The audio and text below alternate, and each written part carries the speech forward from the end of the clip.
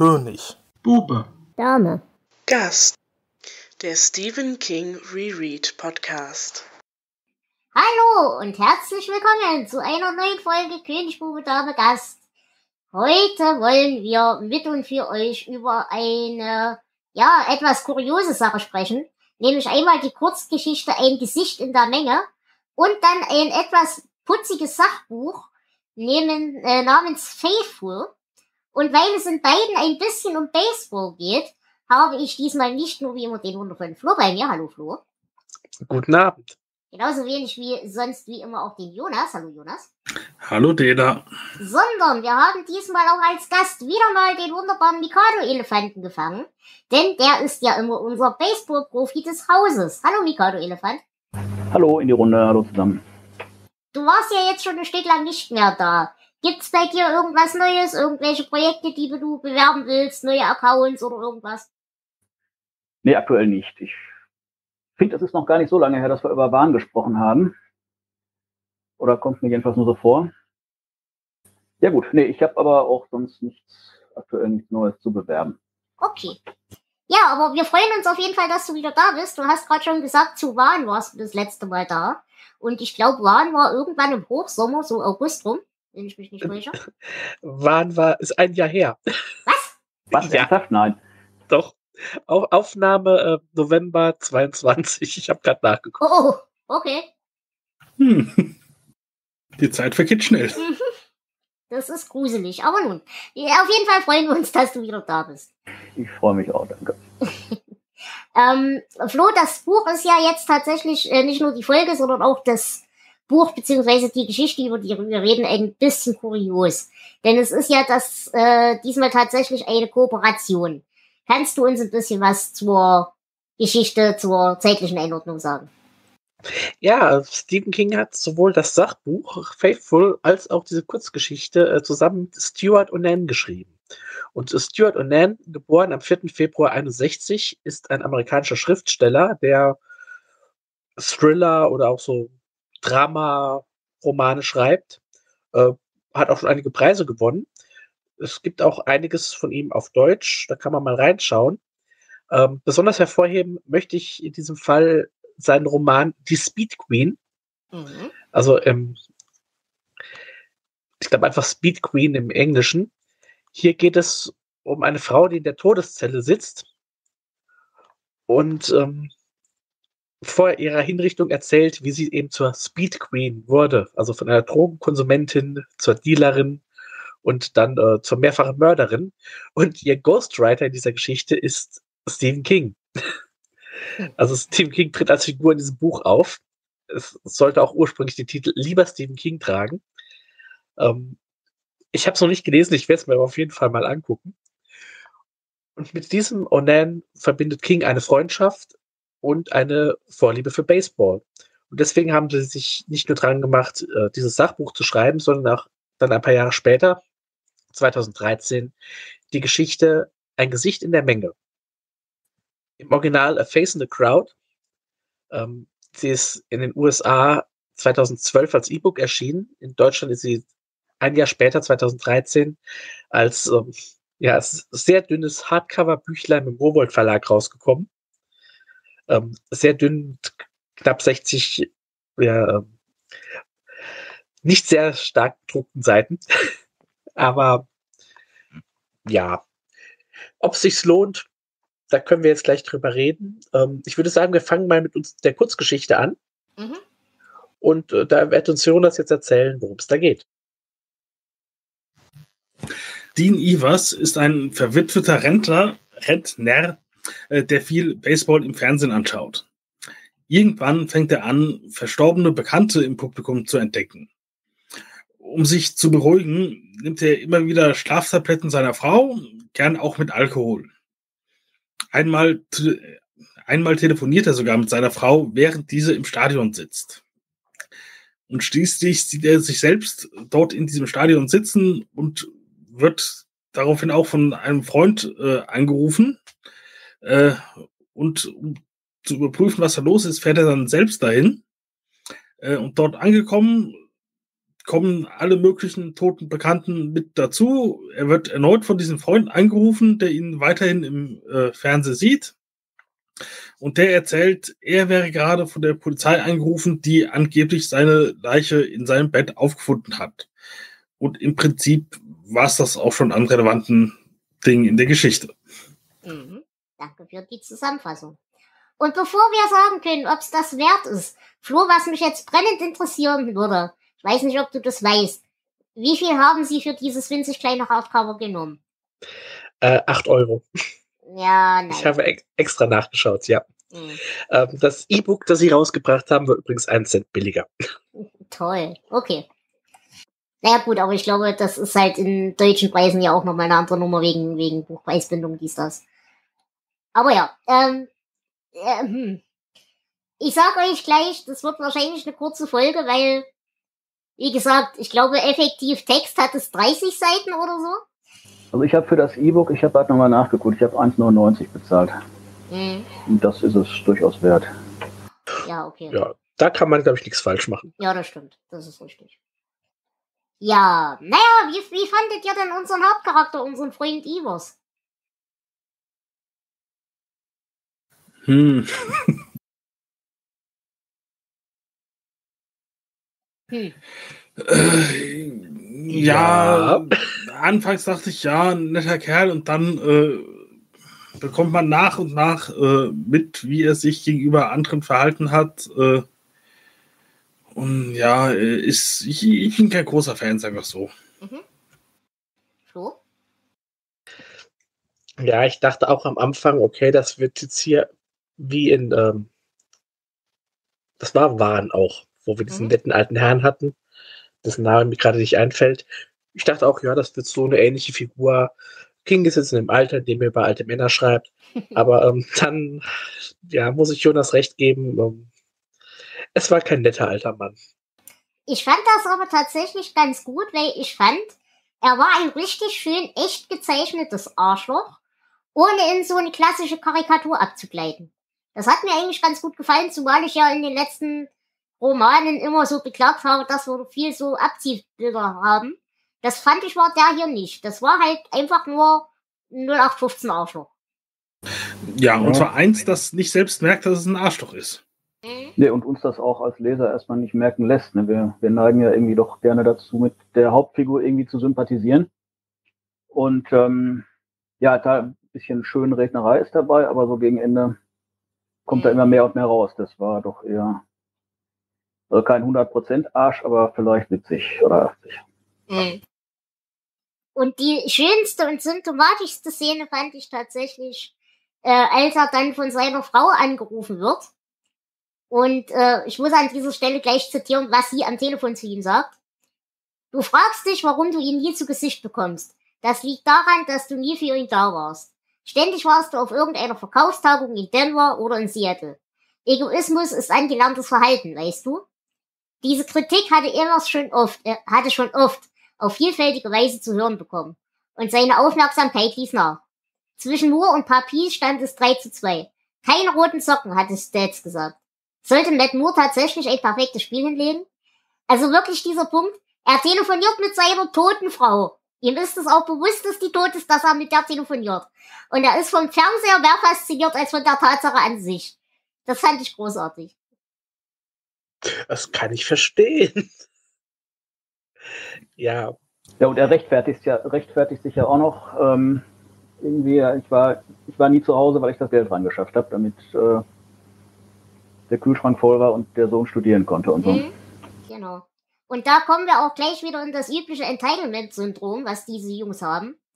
Sie kannte ihn so gut wie niemand sonst auf der Welt. Dieser oder jeder anderen Welt. Doch sie war nie bereit gewesen, ihm die verdiente Anerkennung zu zollen. immer diese Frauen. Ja, furchtbar, ne?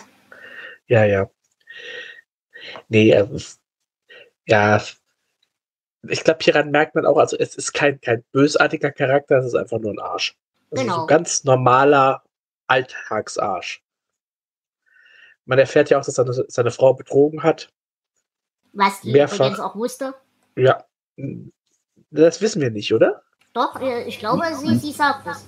Hat Sie sie am, Telefon, am ja. Telefon gesagt, sie hat es schon immer gewusst, weil das äh, Parfüm von der Sekretärin war doch sehr aufdringlich und äh, Erst die Frage, äh, ist, ist sie es wirklich am Telefon oder bildet er sich das nur ein? Aber ja, gehen wir einfach mal davon aus, sie wusste es. Genau.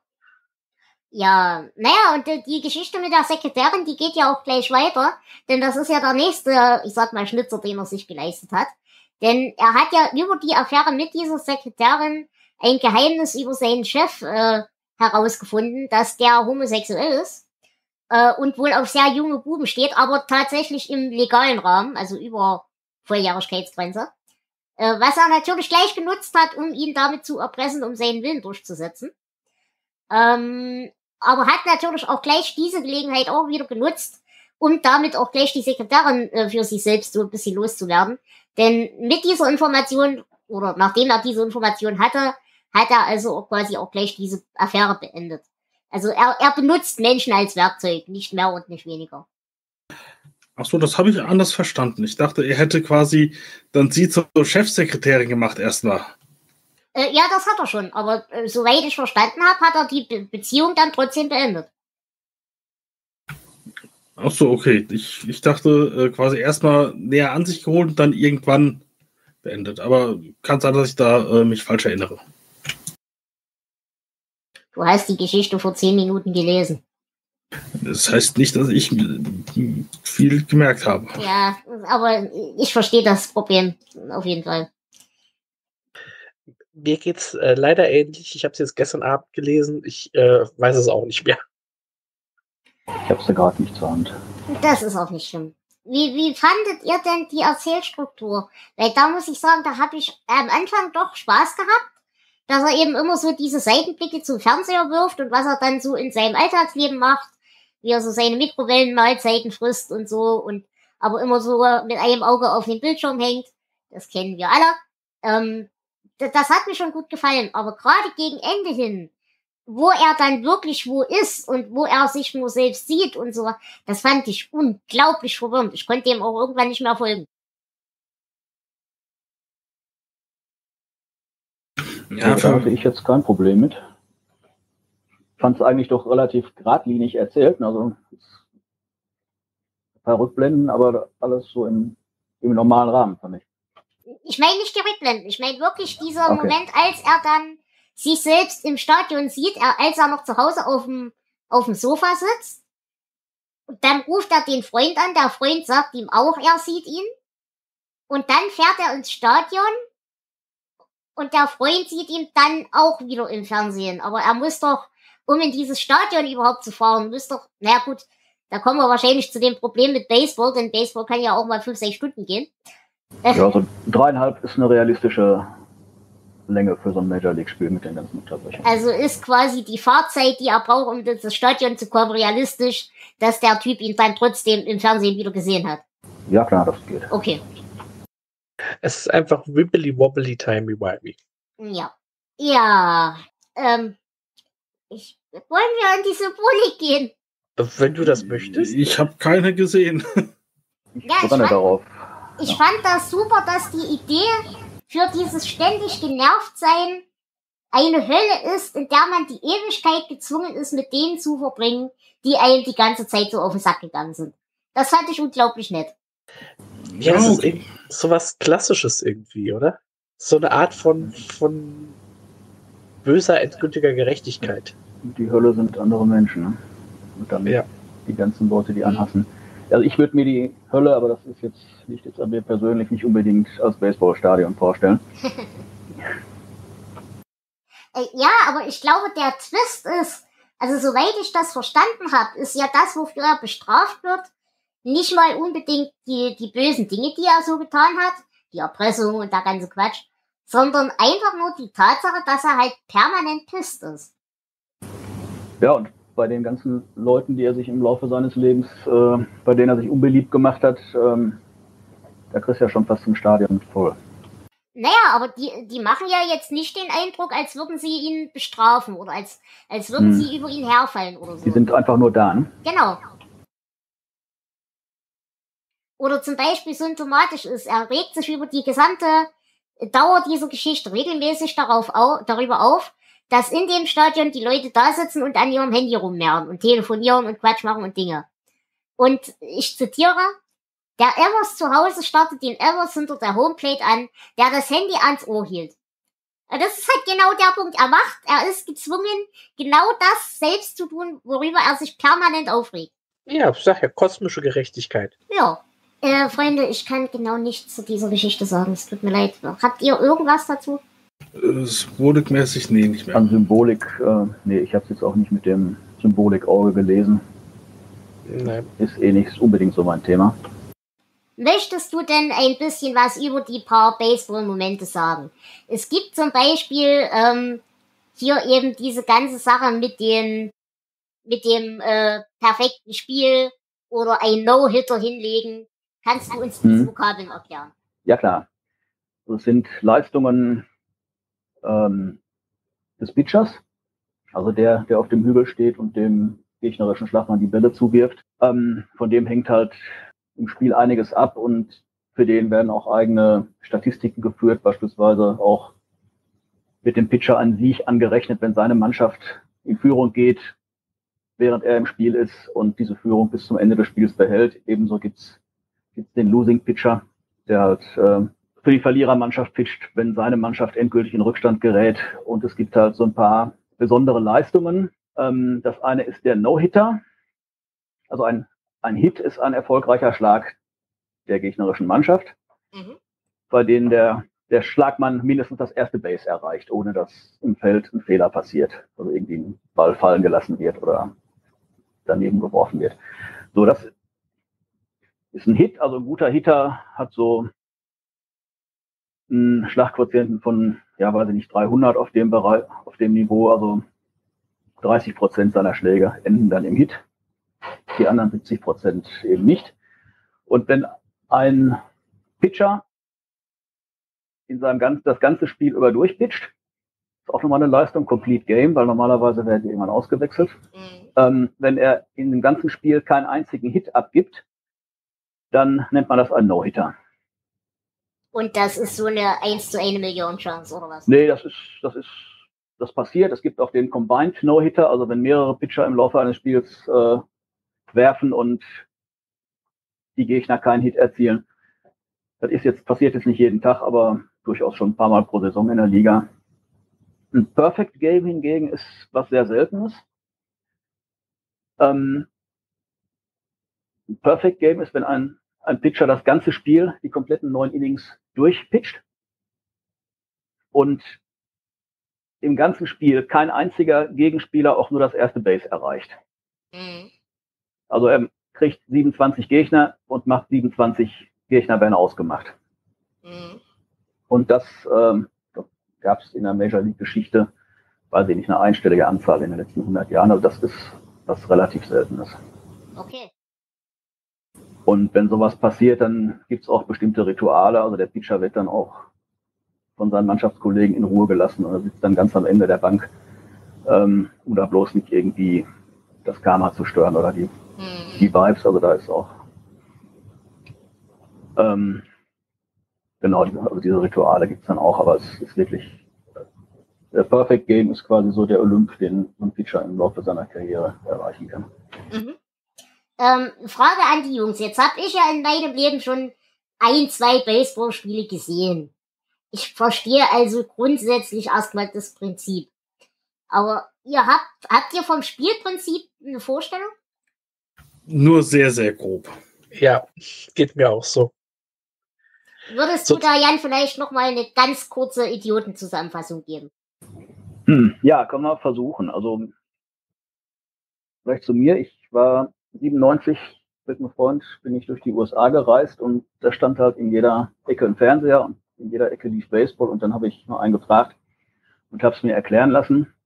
Und ähm, als ich wieder zu Hause war, habe ich mir dann hier einen Verein gesucht, um tatsächlich aktiv auch zu spielen. Das war dann 1998 und seitdem bin ich halt in der einen oder anderen Form auch dabei. Und ähm, ja, worum geht's? Grundsätzlich ist Baseball so ein bisschen anders als andere Sportarten, wenn es darum geht, ein irgendwie geartetes Spielgerät in irgendwie geartetes Ziel zu bringen, sei es ein Ball ins Tor oder in den Korb oder sonst wohin, sondern hier haben wir wirklich die Trennung, eine Mannschaft hat das Angriffsrecht und schlägt und versucht Punkte zu erzielen, die andere Mannschaft steht im Feld und verteidigt und versucht den geschlagenen Ball halt möglichst schnell wieder unter Kontrolle zu bringen, um erstens die Punkte zu verhindern und sich das Angriffsrecht wieder zurückzuholen. Also hier haben wir eine, eine, eine gewisse Asymmetrie ja, Mannschaft besteht aus neun Spielern, die im Feld auf ähm, festgelegten Positionen stehen, beziehungsweise die am Schlag dann einfach in der Reihenfolge eins bis neun an den Schlag gehen. Und wenn der neunte dran gewesen ist, geht es beim ersten wieder los. Ja, Ziel für die Angreifer ist es halt, den Ball so zu schlagen, dass die Gegner ihn möglichst nicht fangen oder unter Kontrolle bringen können, zumindest so, dass ähm, der Schlagmann dann mindestens zum ersten Base laufen kann und im weiteren Verlauf des, des Spiels dann halt einmal die drei Bases ablaufen kann bis zum bis er wieder am Ausgangsfeld an der Homeplate angekommen ist und dann gibt's halt für die Mannschaft einen Punkt. Die Verteidiger im Feld versuchen halt den Ball unter Kontrolle zu bringen und den Schlagmann oder mögliche Läufer auszumachen. Zum Beispiel durch den Pitcher. Wenn der Pitcher drei gute Bälle wirft, sogenannte Strikes, dann ist der Schlagmann aus. Wenn ein geschlagener Ball aus der Luft gefangen wird, ist der Schlagmann aus. Wenn ähm, der Ball eher zum ersten Base gespielt wird, als der Schlagmann da ist, ist der Schlagmann aus. Oder ganz allgemein, wenn ein Läufer zwischen den Bases mit dem Ball berührt wird. Also auf den Bases ist man sicher, aber unterwegs ähm, kann man halt jederzeit ausgemacht werden, indem man halt mit dem Ball von einem Spieler berührt wird, also nicht abgebrochen, sondern wirklich mit dem Ball im Handschuh. Und ja, wenn drei Leute ausgemacht worden sind, dann ist das Inning vorbei, dann wechselt das Angriffsrecht. Und ja, nach neun Innings, also ein normales Baseballspiel dauert neun Innings, auf niedrigem Niveau auch sieben. Einfach weil da mehr Fehler im Feldspiel passieren. Ähm, ja, und wer am Ende die meisten Punkte hat, gewinnt. Mhm. Ähm, jetzt hast du vorhin schon gesagt, also drei bis vier Stunden sind auf jeden Fall realistisch, zumindest in der Major League. Ähm, dreieinhalb, drei bis dreieinhalb, sage ich mal, nach mhm. den damaligen Regeln. Mittlerweile haben sie es ein bisschen gestrafft durch, ähm, ja, in den letzten paar Jahren hat die Major League ein bisschen was gemacht, dass also Pitches nach einer gewissen Anzahl von Sekunden geworfen werden müssen, dass die Leute nicht, sich nicht ewig Zeit lassen im Feld oder nicht zu lange Zeit lassen im Feld, um es ein bisschen fernsehtauglicher zu machen. Ähm, ich glaube, aktuell sind sie dann doch im Schnitt bei unter drei Stunden, also zwei, zweieinhalb, drei Stunden müsste man heute auch einplanen. Also okay. Neun Inning-Spiel auf, auf dem Niveau. Ist ja auch ausreichend. Hm, naja. Oh, also ich sag mal so, in, in dieser Geschichte, über die wir ja gerade reden, äh, ist ja Schlaflosigkeit tatsächlich ein großes Thema. Denn das ist ja der Punkt, weshalb er den ganzen Spaß überhaupt macht. Und ich muss sagen, das ist auch der einzige Grund, warum ich in meinem Leben ein paar Baseballspiele geguckt habe. Also ich habe äh, die World Series geguckt, die letzte, als die Cardinals äh, die World Series gewonnen haben. Jetzt kannst du mir, Jan, bestimmt sagen, wann das war, weil ich weiß es nicht mehr. Müsste ich tatsächlich auch nachgucken. Also irgendwann 2013, 14 vielleicht, irgendwas in der Dreh. Okay, die, die letzte, die ich richtig verfolgt habe, war 2016, als die Chicago Cubs noch über 100 Jahre mal wieder gewonnen haben. Ähm, da bin ich tatsächlich auch ein paar Nächte um die Ohren geschlagen. Mhm. Ähm, aktuell ja, muss ich nachts eher schlafen. Deswegen ja, kriege ich das immer erst am nächsten Morgen mit. Wissen wäre auch damals ein Thema gewesen, können ein anderes. Aber ja, ähm, ich, ich wollte eigentlich darauf hinaus, weil bei mir, also ich glaube mich zu erinnern, das war aber kein normales, reguläres Saisonspiel, das war irgendwas Besonderes. Dass ich da ein Spiel hatte, das ging, glaube ich, fünf Stunden oder sowas. Da bin ich ja. wirklich, habe ich angeguckt, bin eingeschlafen, bin nach viereinhalb Stunden wach geworden und das Spiel lief immer noch. Ja, das gibt's natürlich auch. Wenn nach neun Innings noch kein Sieger feststeht, was unentschieden steht, dann werden halt so lange Innings drangehängt, bis eine Mannschaft gewonnen hat. Das können dann auch schon mal 18 werden, je nachdem, wie gut die Fischer dann noch sind und wie gut verteidigt wird. Ähm, ja, aber auch so 95 Prozent der Spiele sind dann irgendwie nach neun Innings oder maximal zehn zu Ende. Es gab allerdings auch Anfang der 2000er ein All-Star-Game, also immer so zur Mitte der Saison spielt die Mhm. Major League ein All-Star-Game, wo dann halt die gewählten Vertreter der National League gegen die gewählten Vertreter der American League spielen. Und äh, das ging dann auch länger. Und ähm, irgendwann hat der Liga-Präsident dann das Spiel abgebrochen, damit sich die, die Pitcher nicht die Arme kaputt machen für so ein Show-Event. Ähm, ich weiß nicht, wie lange die da gespielt haben. Das muss auch, das waren nur zwölf Innings, aber das muss länger gedauert haben, weil da auch viel bei so Spielen viel durchgewechselt wird. Ich habe übrigens gerade nachgeguckt, es war 2011. Elf waren die Cardinals, okay. Ja, ähm, und was ich halt sagen muss, für mich war der Reiz an diesem Sport tatsächlich, es passiert ja über weite, weite Strecken genau nichts. Und dann hast du aber plötzlich so einen explosiven Moment, den du sogar verstehst, also meistens sogar verstehst, obwohl du von dem Sport keine Ahnung hast. Und das sind eben solche Sachen wie, also eine, eine Szene war irgendwann letztes Jahr zum Beispiel, da hat der Schlagmann plötzlich äh, den, den Grip an seinem, an, an seinem Bett verloren. Und der flog halt mehr oder weniger ins Publikum und der eine Typ, der auf der Ersatzbank saß, hat ihn halt völlig unbeeindruckt so nebenbei aus der Luft weggefangen. Also äh, sol- solche Momente sind halt irgendwie cool. Ja, sowas passiert auch gelegentlich, also häufiger auch, dass die Schläger mal brechen, also gerade in der Major League, wo mit Holz gespielt wird. Hm. Also wir hatten immer Metallschläger, die gehen nicht so schnell kaputt, habe ich aber auch schon mal erlebt. Ja, aber ich würde auch nicht sagen, dass über viele Strecken nichts passiert, also je nachdem, wie, wie gut die Leute sind. Ähm, wenn die Pitcher natürlich jetzt hier in der deutschen Bezirksliga jeden zweiten Ball irgendwie in Dreck oder über den Zaun werfen, dann wird es tatsächlich irgendwann langweilig, weil auch dann keiner mehr schlägt. Aber im Baseball gibt's halt ja relativ viele verschiedene Situationen. Es gibt Spiele, die stehen lange 0-0 oder 1-1. Und dann gibt's halt mal sieben oder acht Punkte in dem Inning. Gibt auch in der Major League Spiele, die enden 15 zu 2. Mm, gibt auch Spiele, die da, da, da steht jetzt irgendwie 9 zu 5 und dann wird im letzten halben Inning das Spiel noch gedreht und am Ende steht es 10 zu 9 für die anderen. Also das ist alles, ist alles drin und das hat, also jede Situation hatte irgendwie ihre eigene Spannung. Mhm. Ja, ich- meinte das mit dem nicht. Ich meine, wie gesagt, ich gehe da runter ran als Laie. Und zum Beispiel die ganzen taktischen Sachen, du kannst ja bei Baseball auch sehr viele taktische Dinge machen. Ja, Äh, die würde ich natürlich nicht verstehen, weil ich ein Idiot bin in dem Thema. Aber ähm, ebenso die, die wirklichen Momente, die du als Laie begreifst, sag ich mal, die sind ja doch relativ rar gesehen. ja, du siehst halt schon, wenn, du bist auch, glaube ich, als, Laie in der Lage, gute Aktionen zu beurteilen. Also wenn jemand einen Ball fängt, der irgendwie nach den Gesetzen der Physik gar nicht mehr hätte fangen dürfen, Ja, oder sich so lang auf den Boden schmeißt, dass er den Ball kriegt, oder einen Ball fängt, der eigentlich zehn Meter hinter ihm noch aufkommen müsste in vollem Lauf, ohne hinzugucken, oder einfach mal ein Schlagmann einen Ball aus dem Stadion kloppt. Ähm, da brauchst du kein viel Spielverständnis, das sieht Ja. auch so spektakulär genug aus, das geht auch. Nee, aber ich habe zum Beispiel mal eine Szene gehabt, das war auch irgendwann in den letzten Jahren, da haben sie ja irgendwie so Karnickelfangspiel gespielt. Das war halt so ein Moment, wo sie versucht haben, den Kerl mit dem, mit dem Ball im, im Handschuh zu Hm. erwischen.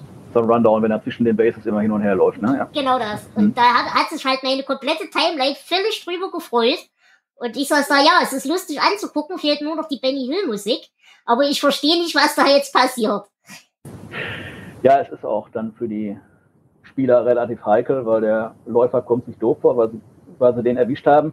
Und dann stehen da, steht da fast die gesamte Mannschaft links und rechts und versucht, keinen Fehler zu machen und den Ball zu fangen. Hm. Zumindest äh, den Ligen, in denen ich so gespielt habe, geht das auch gerne mal schief.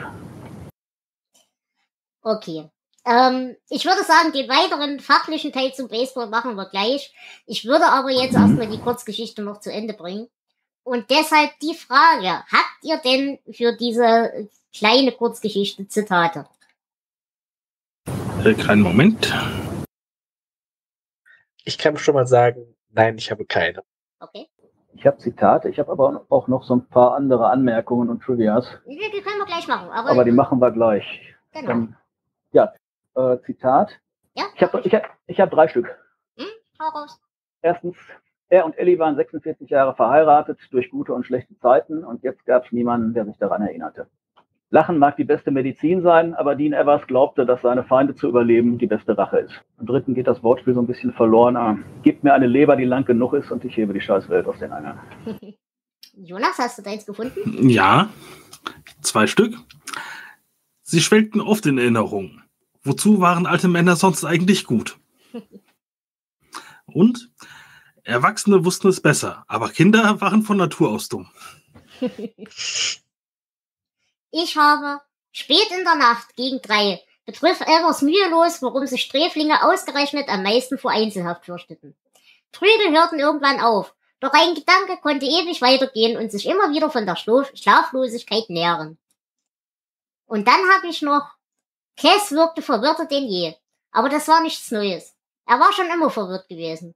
Über Ereignisse, über andere Leute, wahrscheinlich sogar über seinen eigenen Herzschlag. Vermutlich war er auch deshalb so oft wütend gewesen. Selbst wenn er nicht wütend war, war er bereit gewesen, wütend zu sein. Gut, und jetzt, Jan, kannst du gerne deine Ergänzungen und weitere Anmerkungen loswerden. Ja, ich fange mal an. Ich habe natürlich das Ganze auch mit ein bisschen Baseballbrille gesehen. Ähm, was mir aufgefallen ist natürlich, die ganze Geschichte ist ziemlich realistisch, mal abgesehen von den toten Leuten im Fernsehen. Also die, die ganzen Spieler, die erwähnt werden, die haben auch 2012 für die jeweilige Mannschaft gespielt. Die gibt's auch alle wirklich. Der einzige, der mir nicht, den ich nicht gefunden habe, war dieser Matt Young, dessen Trikot Dean Evers am Ende anhat. Gibt zwar, gab zwei Spieler namens Matt Young, die haben aber beide nie für Tampa Bay gespielt. Von daher bin ich da nicht sicher, ob mir das noch irgendwas sagen sollte. Warum ausgerechnet jetzt Matt Young auf diesem Trikot stehen sollte. Ja, ansonsten ist irgendwo mal die Rede einer, von einer Schriftstellerin, die die Mutter ihrer Freundin erschlagen hat. Die gab es auch wirklich. Ähm, hatte dann ihren Künstlernamen Anne Perry, ist im Frühjahr dieses Jahres gestorben. Und genau wie, wie die ganzen Markennamen, die da auftauchen, auch das Schlafmittel gibt es wirklich und ähm, führt in Verbindung mit Alkohol tatsächlich dazu, dass man lange wach bleibt. Und ansonsten habe ich nochmal, bei Stephen King haben ja auch Namen in der Regel immer eine Bedeutung. Wenn wir jetzt hier nicht so die sprechenden Namen haben, aber ich habe die, die Personen, die vier toten Personen, die Dean Evers im Fernsehen sieht, nämlich Alan Embry, Dan Wheeler, ähm, seine Frau Evers und äh, Young sind alles Namen, also Alan Embry, Dan Wheeler, Hood Evers und Cy Young haben, sind alles Namen von Baseballern, die mal irgendwann für die Boston Red Sox gespielt haben. Okay. Das vielleicht noch, ähm, ich weiß nicht, ob es beabsichtigt ist, weil die Anzahl der Baseballer geht ja auch in die Tausende in den letzten 100 Jahren. Aber zumindest haben die alle irgendwann in der Red Sox-Historie mal äh, sind die für die Red Sox aufgelaufen. Also ver vermutlich kein Zufall. Nee, eher nicht, ne? Ja. Und es gibt einen, einen Baseballspieler namens Matt Moore. Vielleicht ist das ein Zufall, ähm, der den es tatsächlich auch gibt. Es gibt einen gleichnamigen Sänger, der 1966 einen Titel in den Charts hatte, der hieß Face in the Crowd. Das ist nett. Okay, gut. Seid ihr durch oder habt ihr noch was zu sagen? Ja, ich hätte vielleicht noch ein kleines Bindeglied. Denn äh, die Idee zu dieser Geschichte hatte King wohl schon 2004 denn er beschreibt die Grundidee, eine Geschichte mit dem Titel äh, Spectators, also Zuschauer, in einem anderen Buch, nämlich in Faithful. Und dazu kommen wir jetzt. Genau. Am 20. Mai, genau. Wollen wir aber vorher vielleicht das, äh, die Kurzgeschichte zu Ende bringen mit der Bewertung? Weil Ach, da war uns, ja noch was. Weil, weil wir ja äh, die Faithful-Sache nicht gelesen haben. Ja, ich würde auch sagen, äh, Faithful zu bewerten, das brauchen wir auch nicht zu machen, aber äh, ja, gerne. Dann, äh, Flo, fang du doch am besten gleich an. Ja, es ist eine nette kleine Kurzgeschichte. Ähm, wir hatten schon erheblich Schlechteres. Ich, ich weiß nicht, ob man es als Geistergeschichte bezeichnen kann. Irgendwie schon. Ähm, hat mich unterhalten, war jetzt aber nichts Besonderes. Ich gebe 13 Punkte. Okay, da so weit wäre ich auf jeden Fall nicht gegangen. Also für mich ist sie tatsächlich ganz nett aber auch relativ belanglos. Und wie gesagt, was mich ein bisschen rausgebracht hat, war das konfuse Ende. Deswegen, ich komme nicht über acht Punkte. Jonas? Äh, das sehe ich ganz genauso. Ich bin auch bei acht Punkten aus ziemlich den gleichen Gründen. Okay. Mikado Elefant? Ja, ich ähm, gehe in eine ähnliche Richtung. Liest sich weg, tut nicht weh, aber ich werde dann doch bald sehen. Okay. Dann kommen wir nun zum zweiten Teil dieser Sendung und das ist das Sachbuch Faithful. Und äh, Flo, du äh, hast das Wort. Ja, viel zu erzählen habe ich da jetzt nicht. Ähm, wie gesagt, King und Onan kannten sich schon lange und waren beide Baseball-Fans und wollten einfach mal ein gemeinsames Buch schreiben.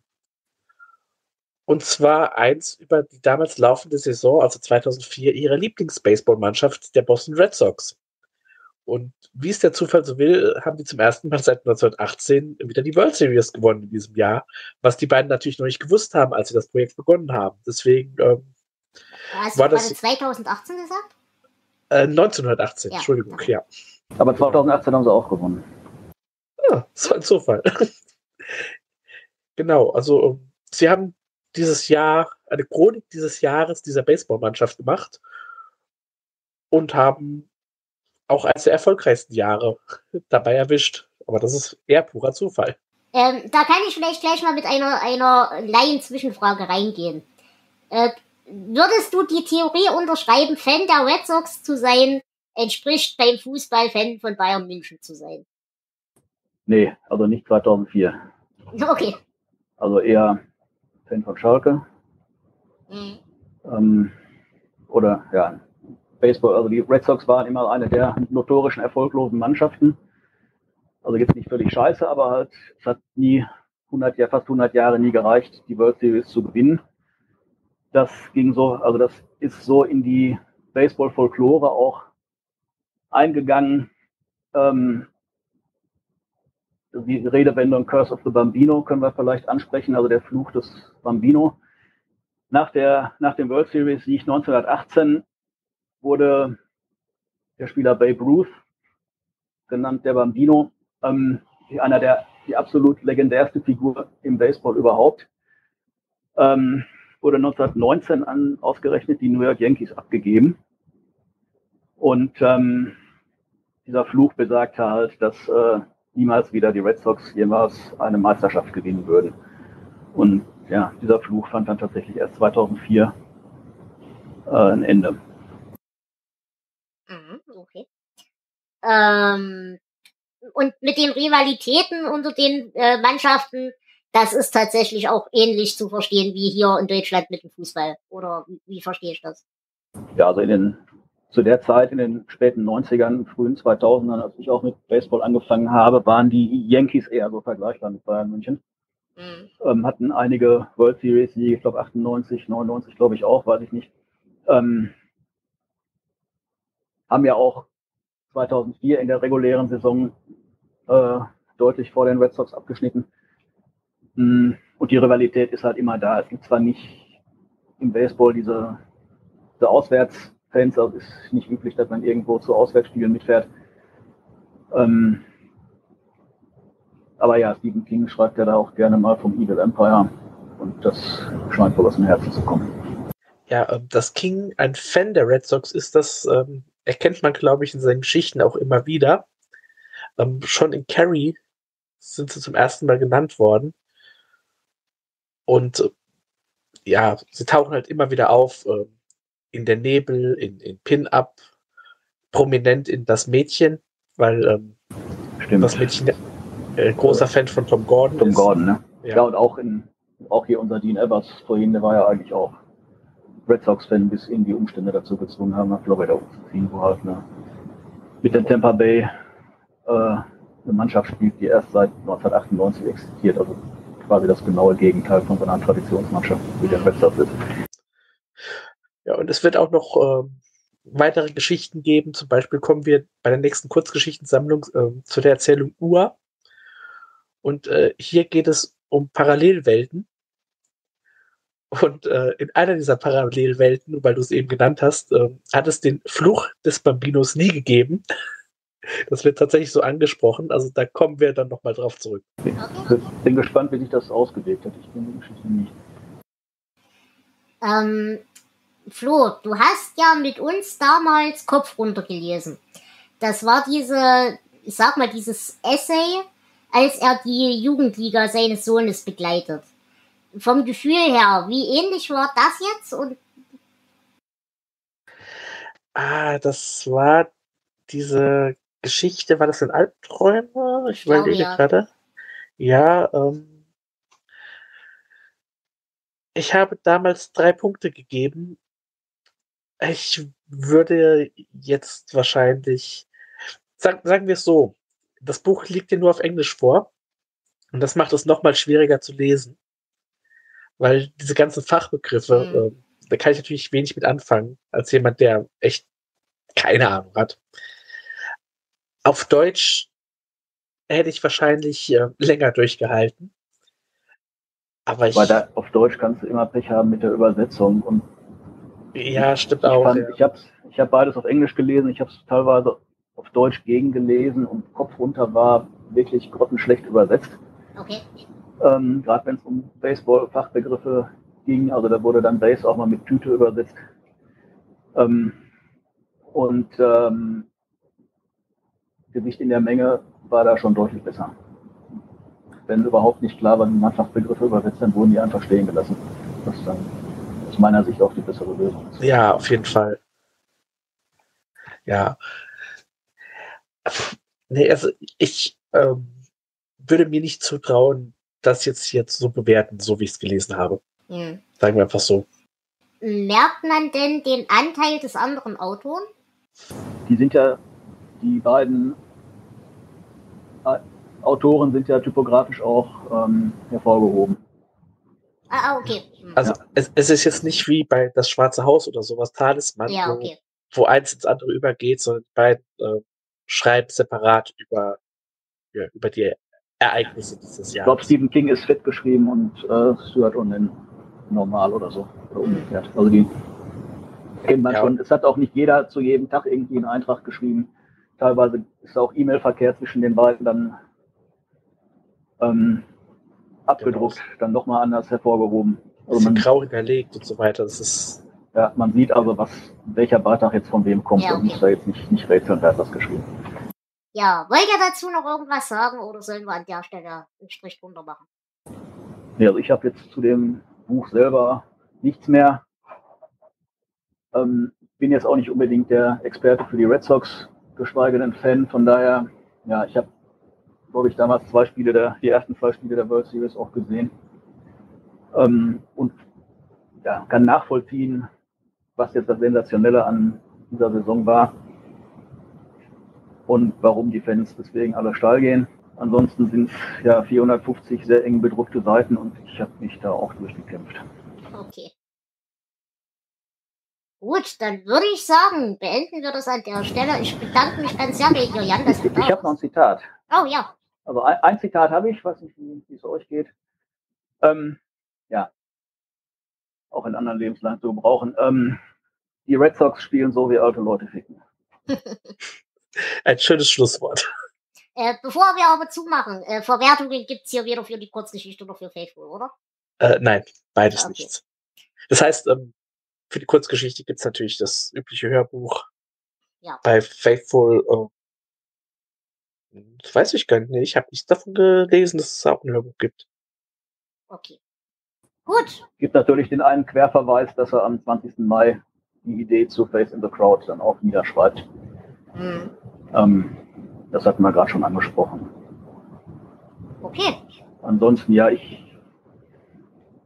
ich würde sieben Punkte geben, weil es doch sehr langatmig und anstrengend war zu lesen, fand ich. Ah ja, wie gesagt, ich bin kein Red Sox-Fan, ich muss nicht bin. So ein Okay. literarisches Highlight ist es jetzt auch nicht. Alles klar. Dann bedanke ich mich wie immer bei euch fürs Zuhören. Ich bedanke mich natürlich auch beim Flo, dass du dabei warst. Vielen Dank. Es war mir eine Ehre. Natürlich auch beim Jonas. Es war wie immer schön mit dir. Hat Spaß gemacht. Und auch beim Jan, beim Mikado Elefanten. Es war wundervoll mit dir zu podcasten, wie immer. Und wenn wir mal wieder was mit Baseball haben, kommen wir natürlich auf dich zurück. Ja, sehr gerne. Ich freue mich. Tschüss. Und ansonsten, liebe Hörer und Hörerinnen, äh, wie gesagt, es geht demnächst weiter mit normalen Werken von King. Und wenn ihr da in irgendeiner Form mitmachen wollt, könnt ihr das gern tun. Guckt einfach auf unsere Leseliste. Ihr braucht nichts weiter, keine große Expertise, auch keine King-Expertise, auch keine Mikrofon-Expertise. Äh, ihr braucht nur ein Gerät zum Reinsprechen und Teamspeak oder Discord und den Rest kriegen wir dann schon hin. Wenn ihr die Lektüre nicht habt, sagt uns Bescheid. Wir würden dann dafür sorgen, dass ihr mit der entsprechenden Quellenlage versorgt seid. Flo, mit was geht's bei uns demnächst weiter? Ja, wir haben Pläne. Also das nächste Buch, das wir regulär besprechen werden, ist äh, Joyland. Aber wenn ich mich nicht täusche, kommt vorher noch unsere traditionelle Jahresendfolge. Und vielleicht eine kleine Überraschung. Das auch. Da verrate ich noch nichts, aber äh, ich sage auch schon mal, in der Jahresendfolge haben wir auch wieder eine kleine Besonderheit, äh, wie jedes Jahr. Also da könnt ihr euch auch drauf freuen. Es gibt nicht nur Statistik. Und dann äh, gibt es ein paar größere Highlights, äh, die dann folgen, wie Dr. Sleep, Mr. Mercedes, Revival und so weiter und so weiter. In diesem Sinne, wir freuen uns auf euch und danken uns, dass ihr uns die Treue haltet. In diesem Sinne, ciao. Tschüss. Ciao. Tschüss.